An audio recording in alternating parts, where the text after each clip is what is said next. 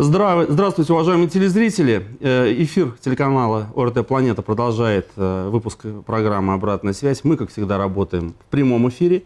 Это значит, что ближайшие 40 минут эта студия будет доступна для ваших телефонных звонков, которых мы ждем по телефону в Оренбурге 43 45 07, код города 3532.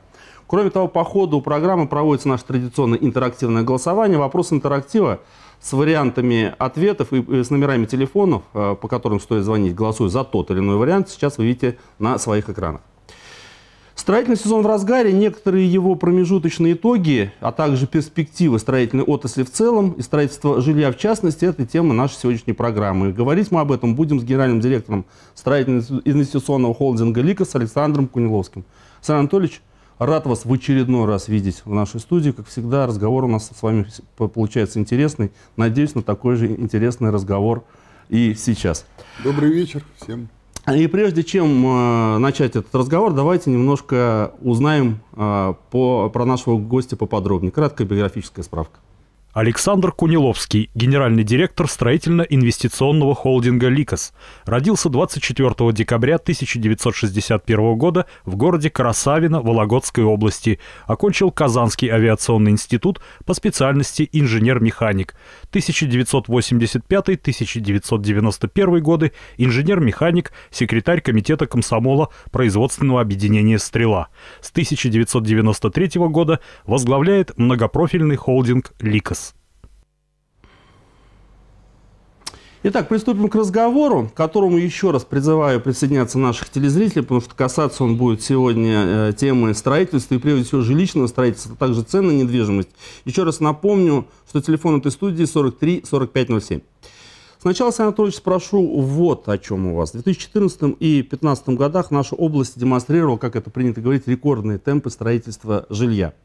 Э, получалось каждый раз, каждый год за миллион квадратных метров, больше миллиона квадратных метров. Да. Позади более половины года текущего. Вот сохранились ли такие высокие темпы жилищного строительства и как соотносятся те цифры ввода жилья, которые мы сейчас видим, с теми, что планировалось изначально? Ну, э, надо сказать, что отрасль строительная, она э, весьма инерционна, потому что результаты э, деятельности появляются только через несколько лет, потому что цикл строительства жилого дома большого там, от двух до трех лет – Поэтому это заделы прошлых периодов, тогда, когда экономика была на подъеме. И строители Перебью сегодня... вас. То есть то, что заложили там два года назад или три года назад, сейчас выгоднее, 14, естественно, 14, достроить, чем бросать. 13, 14, 15 mm год, э, дата закладки домов, которые сегодня находятся в стадии завершения, в стадии сдачи, и э, которые дают результат э, такого То есть объема. Не достроить их просто нельзя, да? Ну, я хотел бы что сказать. Э, на рынке Оренбурга э, в основном присутствует подавляющее большинство добросовестных застройщиков, э, застройщиков очень ответственных, и основные вводы жилья многоэтажного в городе Оренбурге дают буквально там десяток компаний. И эти компании очень ответственно относятся к своим обязательствам, к обязательствам перед дольщиками, перед жителями города Оренбурга. И эти обязательства, они, невзирая на экономическую ситуацию, невзирая на корректировку цен, значительную корректировку цен вниз, невзирая на снижение рентабельности по, э, по экономическим моделям, сегодня обеспечивают их дострой и сдачу, вот в эксплуатацию. Поэтому, если говорить о 2015 году, о рекордном сдаче, 2016 год будет несколько, может быть, меньше, незначительно, но примерно в тех же объемах. Потому что можно приводить цифры, что э, объем э, находящегося в процессе строительства жилья, он очень значительный. Это порядка 10 тысяч квартир. Понятно. То есть хорошо, эти вот заделы, как принято говорить, построим в 2016 году, а дальше что? Потому что ну, у многих пессимизм такой присутствует, что падение будет. Ну, 17 год еще тоже, он э, достаточно такой неплохой. А если мы смотрим заделы по э, закладке новых домов, конечно, есть определенные падения, и есть корректировки, есть э, вопрос ну, такого временного, временной паузы строительных компаний. Есть земля, есть площадки, есть э, проекты, но э, компании пока осторожничают и не закладывают новые дома. Понятно. Ну вот так получилось, что середина строительного сезона, середина лета – это еще и время отметить профессиональный праздник День строителей, который будет отмечаться буквально через два дня, в это воскресенье. Э, кстати, я Мероприятия вас... по поздравлению уже начались сегодня. Да, губернатор да, да. Об этом разговор впереди, но я вас поздравляю, тем не менее, Спасибо с профессиональным большое. наступающим. Строители поздравили вас как раз сегодня, в первой половине дня. Губернатор вручал им э, грамоты Оренбургской области почетные, также свои благодарности он вручал. Ну, как водится, День строителей, это не то, что повод там отметить кого-то и поздравить, хотя это тоже, конечно, присутствует, но повод поговорить о перспективах и о настроениях в стране э, тех, кто занимается строительством. Вот ваш покорный слуга был сегодня на мероприятии и некоторые эти настроения выслушал, и вот в своем сюжете конкретизировал. Давайте посмотрим.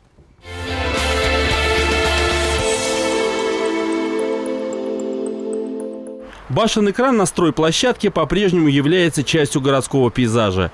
В Оренбурге все еще строят и строят много. Особенно жилых многоэтажек. В прошлом году в областном центре построено 630 тысяч квадратов нового жилья. Более половины отведенного по области в целом. 2016 год мы немножко сбавим обороты, но э, я знаю, что заделка на будущее строительство сейчас ведется. Мы готовим на 2017 год достаточно большое количество земельных участков, которые будут интересны застройщикам и интересны нашим горожанам в части приобретения. Что же интересно потенциальным покупателям жилья? Рынок диктует варианты попроще и подешевле. Если двушка, то не под 100 квадратных метров, как раньше, а раза в два меньше. Строители понимают и переделывают проекты согласно запросам. Однако и под них былых объемов не достичь. Задел был хороший сделан в 2014-2015 году, поэтому спада пока я не наблюдал в первом полугодии. Во втором полугодии он будет, конечно. Я бы, честно говоря, не говорил о пессимизме. У нового профильного министра свой взгляд на ближайшие перспективы. В темных тонах писать будущее строительного сектора не следует. И в 2014 и в 2015 годах многие предрекали строительный провал, однако его все нет. В Оренбурге с начала года уже введено 420 тысяч квадратов нового жилья, почти половина от намеченного годового плана. Отдельно хотелось бы отметить, что на сегодняшний день а, в строительстве находятся в разной степени готовности у нас порядка 1 миллиона 600 тысяч квадратных метров жилья. Восток, как известно, дело тонкое, в том числе и в строительном деле. В Орске нового жилья строится немного, покупательная способность населения не та. Потому для местного стройбизнеса главная надежда – госпрограммы переселения заварийного жилья и строительства для детей-сирот. Если государственные программы не будут буксовать, я думаю, что будет определенный ритм, определенные планы на строительство того или иного объема жилья, и можно с большой уверенностью сказать, что это будет э, вот, реализовано в ближайшие годы. В общем, настроение в стане строителей можно охарактеризовать как умеренно оптимистические – Умеренные, потому что прежние темпы строек приходится умерять в соответствии с текущими реалиями, а оптимизм нужен сегодня в принципе, особенно строителям, чью отрасль по-прежнему считают локомотивом экономики.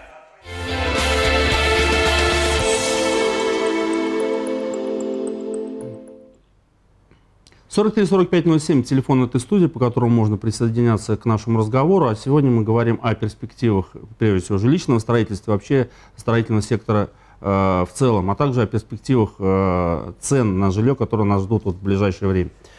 Ну, давайте немножко обсудим сюжет, Александр Анатольевич. Умеренно оптимистичный, сказал я в своем сюжете. Ну, вот как-то. Вы склонны, э, солидарны с этой точки зрения, или у вас какая-то своя особенная? Ну, ситуация непростая на рынке строительства, непростая в первую очередь э, для строительных компаний. Потому что э, сегодняшняя экономическая ситуация э, и ситуация с ценами на рынке не позволяет строительным компаниям выстраивать э, стратегию развития. Э, сегодня э, компании строительные по, по большому счету не развиваются, а лишь выживают и ну, стабильно будем так говорить, действуют без э, амбициозных планов. И э, это, с одной стороны, печально, потому что, ну, насколько я знаю, по концу 2015 года, по началу 2016 года в большинстве строительных компаний прошли серьезные оптимизационные мероприятия. Были Сокращение, проще были, говоря. Были, да, были сокращены э, коллективы, э, инженерные коллективы, рабочие коллективы. И э, эта оптимизация ну, я думаю, что аукнулось на рынке труда. А, тем не менее, говорить в целом по рынку, для жителей города Оренбурга это не очень заметно, потому что э, цены сегодня э, ниже, чем в 2013-2014 году. Они более оптимальны для приобретения. Уровень ипотечного кредитования со стороны э, банков сегодня стабилизировался, и он уже на уровне 12 и 11,5% даже без государственного субсидирования, которое мы, э, которым мы пользовались в течение полутора лет, в течение практически всего 2015 года и этого полугодия. 2016 года, первого полугодия. И э, для приобретения жилья сегодня, я считаю, что самое благоприятное время для людей. Цены оптимально низкие, и они в любом случае через какой-то период времени, когда это будет, через полгода, может быть, через год, они обречены на рост в любом случае. Даже если ипотека будет падать, вот, Вспомните встречу Владимира Путина с Германом Грефом, руководителем Сбербанка, когда они обсуждали вопрос ипотечного кредитования, и Путин на голубой глаз сказал, что сегодня, по большому счету, по его оценкам, самое выгодное время для приобретения жилья э, россиянами. Ну, с другой стороны, если так не говорить, то у нас сейчас наблюдается вообще, что на рынке жилья происходит. Вот типичный покупатель жилья, который покупает, это кто? Это человек, который берет себе. Это человек, который просто у него есть какие-то, у кого-то еще, не наверное, есть свободные деньги, пытается вложить, как это мы наблюдали вот совсем недавно, еще там 5-6 лет тому назад. Или что вообще, для чего покупается жилье сейчас? Э, основной покупатель жилья – это конечный приобретатель, это человек, который будет им пользоваться и жить в этом жилье. Подавляющее большинство покупателей через ипотечный инструмент приобретает жилье, то есть не за собственные средства. Те, кто раньше считался э, приобретателем инвестиционным, сегодня осторожничают и не приобретают жилье, потому что э, они не видят тенденции по росту, по компенсации своих затрат, процентных э, накоплений, которые они могут приобрести в банках. Если вы пригласите на свою передачу оренбургских банкиров, они вам скажут, что сегодня э, на депозитных счетах оренбуржцев и на депозитных счетах оренбургских организаций средства очень значительные. Соответственно, эти средства, ранее которые инвестировались в различные бизнес-проекты или в проекты э, жилищного строительства, или в приобретение офисов или торговых площадей, сегодня не инвестируются туда, потому что люди не видят перспективы и не видят в этом особой выгоды. Понятно. Ну вот э, про ипотеку начали говорить. Вы сказали, что 11-12% это уже такая ипотека. 11,5-12 без государственного субсидирования процентов. Но все-таки экономическая ситуация у нас такая, что люди-то стали, многие получать, зарабатывать меньше. Ну, то есть, или они остались э, при тех же зарплатах, но сами понимаете, что как бы инфляция, рост цен. Нельзя ли сделать так, что все-таки вот эти механизмы отрегулировать рынок, еще э, как бы э, тол дать толчок ему развитию, чтобы еще меньше ипотеку сделать? Э, это большая государственная задача, и с учетом того, что все-таки строительство является таким мультипликатором, да, приводным ремнем э, практически большинства отраслей экономики, конечно, мы бы с удовольствием приветствовали такую позицию государства. Но пока в программах, которые представляются на рынке, которые там, презентует правительство Российской Федерации, а только с их уровня можно это решить, потому что если мы посмотрим областной бюджет – Ресурсов для реализации глобальной программы по поддержке отрасли и по поддержке экономики сегодня у областного бюджета нет. Дай бог выполнить все социальные обязательства. Это будет сделано, бесспорно. Но если говорить о развитии отраслевом, в первую очередь строительства, это только федеральная задача, которая по плечу федеральному правительству, нашему президенту. Небольшую паузу сделаем в нашем разговоре. Реклама у нас в эфире РТ Планета. Прошу.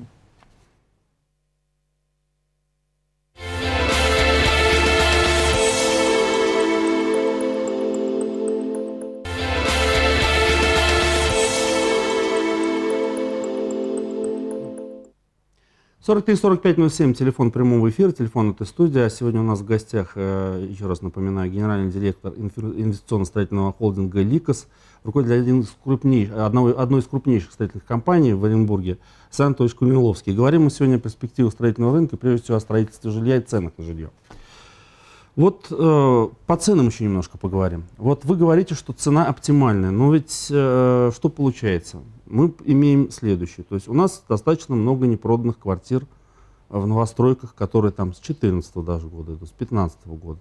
Там сейчас появляется есть еще... Фактор, да? Есть такой фактор. То есть постоянно прибавляется э, количество э, жилья на первичном рынке. Вторичка тоже, там, наверное, цены тоже за, вслед за первичным рынком вниз пошли. Тоже как бы она представлена на рынке. Плюс давайте вспомним про товарищей и про эти самые инвестиционные квартиры, о которых мы говорили, которые сейчас, может быть, некоторые, конечно, сидят и думают, что с ними делать, потому что они цены идут вниз, но некоторые там, может быть, паникуют и пытаются их продать. Это тоже. Они считаются как вторичные. Но это новая квартира, которую купили, ничего у них не делали, закрытые стояли.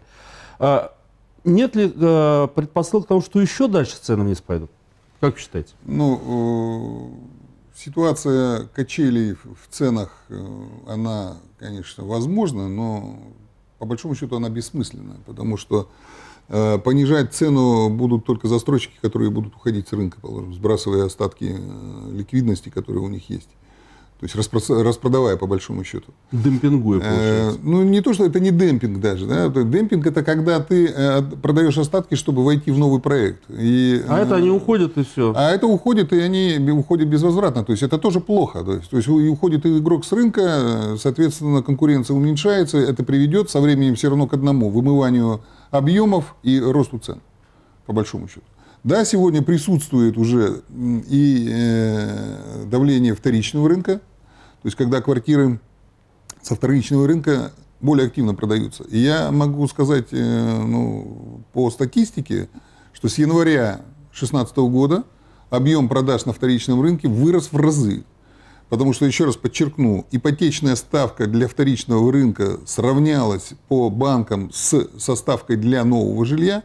Если мы по 2015 году и мы по началу 2016 года имели ипотечную ставку по вновь построенному жилью 12%, то по вторичному жилью ипотечная ставка была 17-18%. Соответственно, вы понимаете, что покупатель со вторичного рынка ушел на первичный рынок. Это было перераспределение. Сегодня соотношение меняется.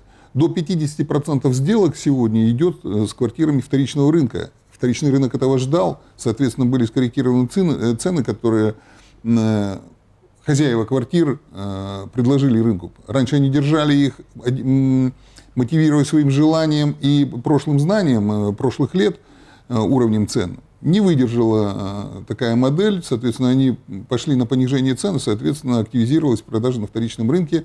Они где-то, может быть, даже ниже первичного рынка, и, соответственно, активизация произошла с учетом ипотечного инструмента. Поэтому такая тенденция есть. Она была всегда. Во все нормальные годы вторичный рынок преобладал по объемам над первичным рынком. Э, по э, объемам продаж. Сегодня эта тенденция возвращается. Вернется ли э, ценообразование к уровню, когда будет выгодно строить, когда строительные компании будут развиваться, что приведет, естественно, к определенному росту цен? Не в разы, конечно, а в разумные пределы, потому что мы получили снижение за последние полтора года на рынке города Оренбурга ну, от 10 до 20 процентов, по большому счету. Почему так много? Ну, корректировка произошла. Ну, когда на рынке Оренбурга квартиры продавались по цене 28-29 тысяч рублей за квадратный метр. Ну, Такого я не помню за последние 8 лет. Ну да, я хотел сказать лет 10 назад. Да, это, это цены нескольких лет э, в прошлом. То есть тогда, когда э, мы пережили уже определенный дефлятор, да, это цены по, по большому счету э, до кризисные 9-10 года. То есть цены, может быть, 8 года примерно. Соответственно, сегодня говорить о том, что цена не упала, да, это не, не серьезно. Тем более на рынок пришли совершенно другого качества жилье. Э, несколько проектов предлагают вообще квартиры студии минимального размера, там, до 30 квадратных метров. Это вообще, я считаю, что это... Только, только если есть предложение, значит есть и спрос, тот их покупает. Но, Человек же, вот самом... Я знаю вашу точку зрения. Вы... Да считаете, что строительство такого, а, такого жилья в большом количестве породит некий какой-то деклассированный элемент, который там будет селиться? Это преступление, я считаю. Ну, если человеку нужна своя квартира. Вот есть, есть допустим, а, мама-одиночка. Есть, допустим, молодой человек, который, ну, все, он перерос, он не может жить родителям, он хочет начинать свою жизнь. Но нету у него даже там, ну, я не знаю, там двух миллионов, ну, не возьмет он нигде. А вот он работает как-то, и там вот эти 800 тысяч рублей он подтянет, вот, ну, ну, условно говоря, что-то ему там, ну, Почему он должен быть обязательно каким-то маргиналом? Это спор, э, это спор стратегический. Да? Я смотрю на э, этот вопрос глазами человека, который э, будет жить через 10 лет. Сегодня, наверное, вы правы. Через 10 лет посмотрим, и, э, чья будет правота. Когда построен дом, когда занят участок земли, это на десятилетия. Понимаете? Мы сегодня создаем облик города через 30, 40, 50 лет. И вот какой мы его создадим, такой мы его и будем иметь. Если мы будем иметь, извините, клоповники 30-метровые, для э, жили, э, где будут жить там наши внуки, положим, и когда мы получим, бесспорно мы получим экономический рост, невозможно, надо эти лома, дома будет ломать, ну, я не знаю, не Надо специалист. будет их, э, ну, есть примеры других стран. Выкупать у этих Франция, людей США, жилье, США, убирать да, перегородки, делать большие квартиры. Ну, это несерьезно просто-напросто, когда мы Ну, я так там, условно говорим, говорю. э, когда экономика нас сегодня загоняет в угол, и практически все компании сегодня, ведущие компании, переходят на строительство методом КПД, когда э, площадь квартир резко уменьшается, а качество их, потребительское качество, по большому счету, от которого мы отучали десятилетия, да, говорили, что смотрите, и мы говорили о строительстве бизнес-квартир, да, квартир больше 100 метров квадратных, очень комфортных квартир, то мы сегодня ужимаем их, загоняем опять в то, что было в Советском Союзе, в КПД, где-то может быть нового качества, но не сильно это отличается от того, что было 20 лет назад. Мы возвращаемся в экономике, в качестве жизни, возвращаемся в прошлые тысячелетия. Я понял. И Александр я Анатольевич, против примем звонок от телезрителя, Конечно. а потом, если позволите, я свою точку зрения вам выскажу и, может, подискутируем на эту тему еще. Вот на эту тему. Здравствуйте, обращаюсь к телезрителю, который до нас дозвонился. Вы в прямом эфире, программа «Обратная связь». Слушаем вас. Представьтесь нам, пожалуйста. Э, Здравствуйте, меня зовут Сергей. Э, Вот, я как бы вот, ну, случайно вот попал на передачу, переключил канал. Вот, достаточно интересная передача, и меня, в общем-то, заботит такой, э, такой вопрос.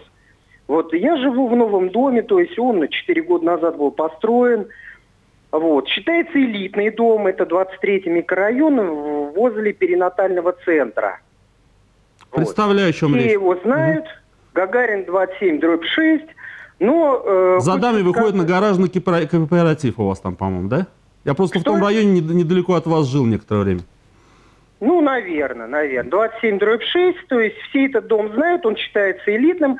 Но я хочу сразу сказать, вот это элитство, оно заканчивается тем, что когда начинаешь проходить по подъезду, начинаешь в квартиру заходить, смотреть вот эти вот недочеты. Каким образом принималась эта квартира, жилье, вообще непонятно. Ну, это вторая тема. Я услышал э, такую фразу, что там э, жилье у нас стоит где-то порядка там 29, там где-то 30, где-то 33 тысячи, может быть, где-то дороже. Но вот я сейчас э, столкнулся с такой ситуацией, я строю сам э, как бы индивидуально дом. Вот. Строю не из чего-то там как бы, а именно из самых хороших материалов. И у меня себестоимость строительства выходит ну, где-то в районе 14,5-15,5 тысяч квадратный метр. У вас, у вас э, понятно, ва- ваш это сам во- вопрос э, конкретизируйте, пожалуйста, Вопрос немножко долго времени как занимаете. получается вот с этих 14,5-15,5 цена вот 33, а где-то и 70 тысяч квадратный метр. Понятно, спасибо. Хороший вопрос. Человек строит дом. У него затраты на стройматериалы, ну, наверное, сам с коммуникацией, можно говорить, что 14-15 тысяч за... Нет, это без коммуникации. Просто Без человек еще не столкнулся с тем, что ему нужно будет самому делать благоустройство, асфальтовую дорогу около своего дома, заводить все сети, платить за техприсоединение. Я и так понял его вопрос. Вот смотрим. Коттедж там занимает, допустим, там участок вот, вот такой. Можно я отвечу Но это же вот все вверх, а там же почему? Собственно говоря, Можно я отвечу да, как бы на этот вопрос? Э, Вопрос себестоимости, он такой, э, больше всего вызывает э, недоверие людей, особенно когда э, как бы даже наше правительство и, там, и средства массовой информации говорят, смотрите, эти строители хапуги на самом деле, да, у них себестоимость копеечная, а продают они вон по каким э, большим ценам. Уверяю вас, сегодня э, себестоимость строительства колеблется в зависимости от вида строительства, там, от там, 27, положим, до 33 э, тысяч за квадратный метр. Когда мы все в совокупности смотрим, включая благоустройство, обеспечение газом, водой, светом, канализацией. И это объективно сложившаяся э, практика, которую не избежать. Э, бывает, что по проектам заявляют, там, что у них себестоимость значительно ниже. Ни один проект по этой себестоимости не реализован, все равно выходит на ту себестоимость, которую я вам сказал, в зависимости от типа строительства. Почему сегодня строительные компании переходят на КПД? Потому что КПД дают выигрыш в себестоимости, который позволяет быстрее работать, то есть меньше накладных. Соответственно, на квадратный метр ложится меньше. И э, досужие рассуждения, что вот я строю сам коттедж своими руками, мне обходится дешевле, конечно, дешевле. Трехэтажные дома, таунхаусы двухэтажные строить значительно дешевле, чем многоэтажку. Почему? Ну, ну, потому что там нет лифтов, там нет систем вентиляции такой, которая нужна в многоэтажном доме, там нет систем пожаротушения, там нет таких систем э, теплообеспечения, которые необходимы, там нет э, таких систем э, утепления фасадов и так далее. Требований, которые заложены в наших СНИПах изначально, и там э, как бы разбежаться некуда. Почему московские компании не пришли на Оренбургский рынок? Потому что он не рентабелен по их меркам. Когда московские компании, имея примерно себестоимость, может быть, процентов на 15-20 выше, чем у нас. В зависимости... Фактически такую же. Да, факти... Нет, строительная, если Но говорить чисто строительно-монтажная работа, она примерно такая же, может быть, чуть дороже, потому что у них зарплаты там mm. повыше а у них там связано это с землей, с более дорогими сетями и так далее. Но цена-то в разы выше, чем в, в Оренбурге, да, если брать в самой Москве или даже в Подмосковье. Вот у нас, по-моему, питерская какая-то компания строила тоже, что ли? Что Нет, э, ни одной э, как бы иногородней компании, все это были филиалы, это были э, пробы пера проектов реализации в Оренбурге, и ни одна не удержалась. Еще послушаем звонок от нашего телезрителя, еще один есть у нас. Здравствуйте, слушаем вас. Представляйте, пожалуйста. Алло, слушаем вас. Здравствуйте. Здравствуйте. Я приветствую Александра Куниловского, считаю его профессионалом, строителем, одним из лучших в городе. Вот я председатель СНТ «Родник». У меня 3000 свободных участков. Зовут меня Сергей Столпак. Я готов с Александром заключить завтра договор на садоводческие домики. Он не хотел бы у нас 3000 садоводческих домиков построить ну, в его лучшем стиле. Как Спа- он к этому относится? Спасибо.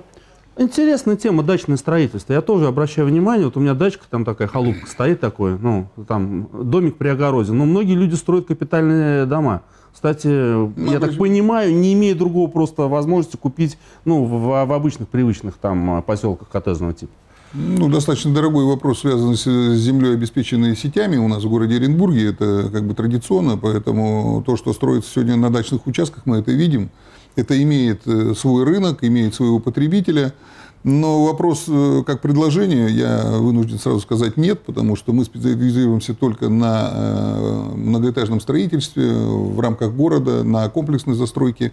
И индивидуальные проекты даже больших коттеджей, даже комплексная застройка больших коттеджных участков нас не интересует. Это не наш профиль, это другая специализация, это совершенно другая технология деятельности мы заточены совершенно по другое. И э, наша основная задача строить э, качественно хорошо. И я могу заметить, что э, мы на качество особо обращаем внимание. И э, вопросы э, там, дальнейшего комфортного проживания людей для нас имеют э, приоритетное значение. Вот э, сейчас перейдем к вопросу комфортного жилья и точной застройки, но сначала вот э, хотел продолжить эту тему, наверное, уже забыли, которую, говорю, потом подискутируем. Почему сейчас стали э, востребованы маленькие квартиры? Вот моя точка зрения. То здесь еще и как бы рынок отыграл. Раньше, вот, извините уж за э, простоту, можно было вот построить там какой-то многоэтажный дом, а в квартирах там вообще перегородок не делать. Вот условно говоря, площадь 20, там, 200 Виталий, квадратных метров. Виталий, вот ее вот одним вот этим это, куском это, продал. Это фантазии на самом деле. Не Ни, знаю, потому что не... просто люди шли за квадрат, покупали, вкладывались в квадратный метр. Они там не жили, они просто вкладывались.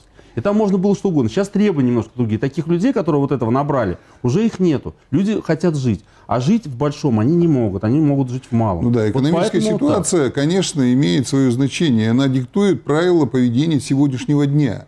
Но еще раз говорю, вы смотрите глазами э, на ситуацию сегодняшнего потребителя, я смотрю глазами человека, который смотрит э, через 10 лет, глазами жителя города, который оценивает ситуацию в городе через 10-20 лет. Я говорю, что строить сегодня некомфортно – это преступление, потому что дом, снести дом – это целая эпопея, это и дорого, это бессмысленно. Поэтому надо сегодня строить максимально комфортно. И вопрос точечной застройки здесь один, э, один из таких важнейших становится.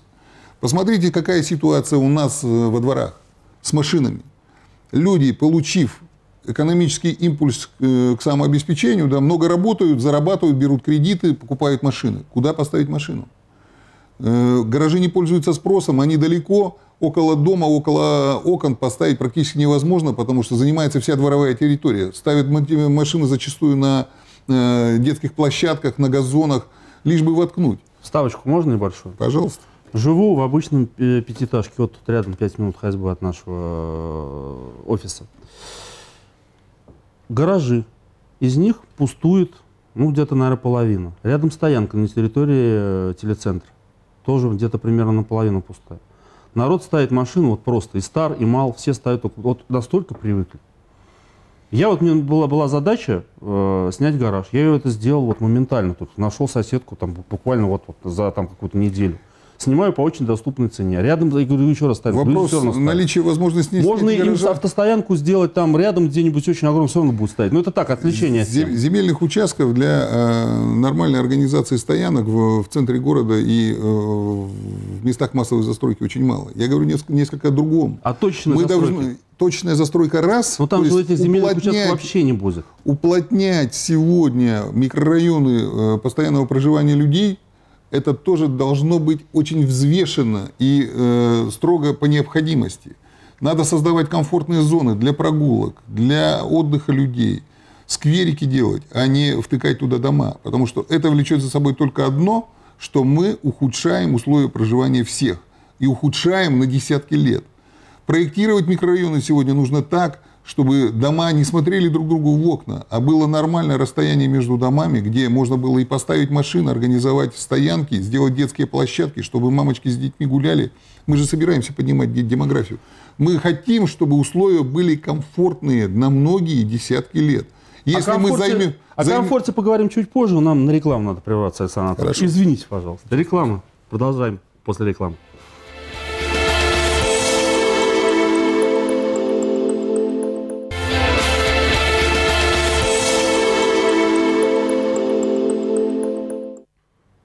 Александр Анатольевич, э, продолжаем разговор, но пока смотрели рекламу, телефонный звонок у нас появился от зрителя. Надо принять. Да. Здравствуйте, слушаем вас. Только, пожалуйста, покороче, у нас время прямого эфира к концу близится. Представляйтесь и задавайте свой вопрос. Здравствуйте. Здравствуйте. Лапшина Ольга Николаевна. Я работаю в строительной организации. В качестве рекламы не буду называть. И хочу начальником отдела недвижимости. И хочу задать такой вопрос. Как вы относитесь к малоэтажной застройке, то бишь к трехэтажным домам, которые строятся на территории города Оренбурга, строятся некачественно для детей, сирот, малоимущих и так далее. Хороший и вопрос, отличный вопрос, спасибо за него. Хотел этот вопрос вам адресовать. Вот э, известная история по геофизиков для переселенцев. Ну, Тур, там затягивание. Турбины. Про турбины, нет, геофизиков переселенцев, но там не качество, там затягивание было срока. Э, про турбинную, про детей-сирот. Как быть вот с такими строительными компаниями, которые так строят, такое жилье? К сожалению, э, ситуация э, с госпрограммами, э, ну, изначально она патовая. Когда городская администрация, как основной оператор реализации этой программы, начала предлагать ведущим строительным компаниям поучаствовать в строительстве, то цена, сформированная на уровне федерального правительства для нашего региона, она не покрывает прямых издержек строительных э, компаний ведущих, поэтому все строительные компании, которые представляют из себя серьезную силу, отказались от участия в этих проектах. И пришли на их И место. пришли на их место люди безответственные, не понимающие экономику вопроса, и, соответственно, мы имеем сегодня результат. Мы вынуждены сегодня вместе с городской администрацией участвовать в реализации этой программы, отдавая свои квартиры, э, теряя собственную прибыль, но государственная программа должна быть решена, иначе наш регион выглядит в глазах федерации, да просто людей, которые, которым нужно дать жилье, которые признаны ветхим, их нужно обеспечить. Государство сказало «да», поэтому нужно этот вопрос решать. То, что строят плохо, строят плохие компании. На самом деле это парадоксальный вопрос. Я изначально э, занимаю позицию такую. Федерация как будто специально создает трудные условия для реализации государственных программ на территории субъекта федерации. Цель? Зачем? Не понимаю.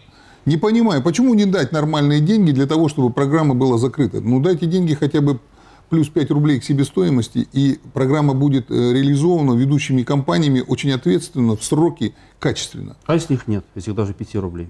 Ну как нет? Ну строят же в Москве за э, реальные деньги э, по этим программам. Почему регионы-то зажаты? И в, ря- в ряде регионов мне сложно понять, я не, сегодня не являюсь администратором там, на уровне области или на уровне города, надо посмотреть, как в других регионах решаются эти вопросы. Большинство регионов отчитывается о том, что у них все хорошо, какие-то схемы, значит, найдены, но я говорю по сути, когда э, мы рассматриваем чистую экономику по цене, предложенной федеральным центром.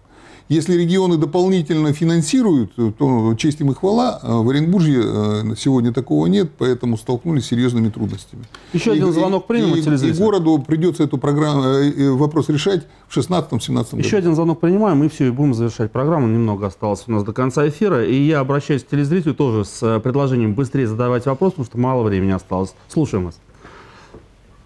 Алло, добрый вечер. Здравствуйте. Меня зовут Гульнура. Я многодетная мама, и вот мы стоим по программе как, как многодетная мама, ну, семья. И я вот хотела бы уточнить, допустим, вот я работаю официально, но у меня зарплата очень маленькая. Муж работает неофициально. А если он будет работать официально, у нас доход не позволит, чтобы снимать квартиру. И вот как быть нам таким вот семьям, которые вот мы не можем ни ипотеку взять, и в очереди стоим, и снимаем квартиры, вот все в таком роде. Понятно. То есть как решить, решать э, жилищный вопрос вот малоимущим семьям? Есть какая-то здесь универсальная рекомендация, что ли? Ну, сложно руководителю строительной компании ответить на вопрос, который по большому счету считается патовым. Э, тут у меня нет рецепта. Здесь вопрос только в состоятельности главы семьи, э, в его возможностях заработать деньги достойные, которые позволят обеспечить его семью жильем. Государство э, обеспечивает частично э, очереди по социальным показателям, но это капля в море. Если терпения у этой семьи хватит дождаться квартиры, которую даст город или область, по каким-либо госпрограммам, только так. Или заработать самому, или десятки лет стоять в очереди, ждать, когда все-таки она придет. Вернемся, к сожалению. Вернемся к тому, с чего начинали наш разговор. Вот 900 тысяч квадратных метров э, в этом году собираются построить, это больше, чем в 2015-2014. Все-таки, каким образом э, это может повлиять на рынок жилья? Вот все-таки большой объем. И э, 14 год, 15 вы говорите, что и на 17 есть заделы. Может да. быть, ждать э, каких-то коренных перемен? Перемен или все-таки должно государство какой-то шаг сделать, чтобы это все, что построили, купили люди наконец-то? А не стояло все это бесхозно? Ну, ситуация, она достаточно очевидная. Если пойдет рост экономики, соответственно, пойдет рост, э, рост потребительского спроса, и квартир э, приобретаться будет больше, потому что сегодня на рынке все-таки присутствует ну, самые отчаянные покупают квартиры, да, будем так говорить, те, которые могут. Эта э, доля покупателей уменьшилась, объем реализации уменьшился по сравнению там, с 2014-2013 годом. Соответственно, рост экономики позволит увеличить долю приобретения. Это сбалансирует рынок, предложение, и э, строительство снова пойдет в рост. Рост цены э, также будет обеспечен, потому что рост спроса все равно приведет к росту цены, к ее э, увеличению. Насколько все будет показывать баланс наличия квартир на рынке. Вы правильно сказали, что их сегодня достаточно много, поэтому говорить о том, что там произойдет там, взрывной рост цен – в ближайшее время, конечно, нельзя. А взрывной обвал цен? Обвал цен, я уже сказал, что он бессмысленнее, но он придет э, только к одному, что строительные компании уйдут с рынка и вообще свернут все проекты. Потому что нет смысла э, обеспечивать процесс строительства, потому что ты там ничего не зарабатываешь. А людям надо заплатить зарплату, надо заплатить налоги, надо обеспечить новое, приобретение нового оборудования, потому что старое изнашивается. А где? Ради чего? Ведь э, весь смысл э, деятельности экономической – это получение добавленной стоимости. А если добавленной стоимости нет, все действия становятся бессмысленными. Понятно. Итак, вы все-таки какой-то больше умеренный пессимист, получается, по своему взгляду на ближайшие перспективы строительной отрасли. Я вас правильно понимаю? Я бы не называл это пессимизмом, это объективная оценка ситуации. Я по жизни оптимист, могу сказать всем, что все будет хорошо, экономика России будет развиваться, благосостояние россиян через некоторое время все равно будет улучшаться. Мы обречены на развитие России, э, на уверенный э, рост экономики России. Когда это будет? Вопрос времени. Вопрос многих составляющих и э, вопрос деятельности всех ветвей власти. Ну вот как-то мы так за таким непринужденным и достаточно интересным разговором 40 минут прямого эфира отстреляешь, что называется. Давайте обратимся к результатам нашего интерактивного голосования. Вопрос, который... И был... мне бы хотелось в заключение все-таки поздравить всех коллег-строителей с праздником. А я думал, это в самом финале мы сделаем. Хорошо. Ну, хорошо. А пока смотрим интерактив. Итак, вопрос очень простой. Планируется ли покупать новое жилье? Подавляющее большинство, это красный столбец середины нашего среди нашей композиции графики говорит, что люди не будут покупать жилье. Ну, вот 8%, Ну, и- да, ну понятно, что как бы людей, видимо, не на что покупать, поэтому такой ответ. Будете комментировать или... Без комментариев, все очевидно, все понятно, и готовность людей к приобретению сегодня говорит о том, что пока развиваться не будем, пока э, экономика показывает э, пассивное состояние. Ну и теперь поздравления с Днем Строителя. Нормальные такие, полноценные. Э, Спасибо, Виталий.